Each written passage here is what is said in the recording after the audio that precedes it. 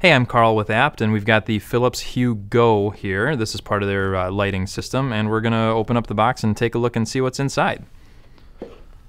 So this is pretty straightforward. This flap just uh, pops up there. And then on the inside, you've got a little label. It says Hue Personal Wireless Lighting. And then inside the box, we've got the light itself that comes in uh, sort of a little foam ring. So here's the light. It's got a little piece on the bottom here that kind of sits it upright here without it falling over. And let's take out the rest of the packing here. So underneath we've got the charger power adapter. And under that we've got some reading material. So we've got the quick start guide and see here.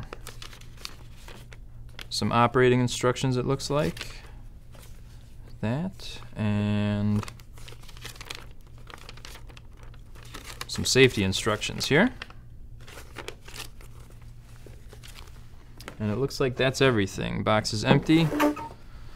So we've got the light itself and we've got the power cord and then a couple of things of uh, to read through. So that's the Philips Hue Go. Make sure you check it out at abt.com. Leave your comments below and like and subscribe on YouTube.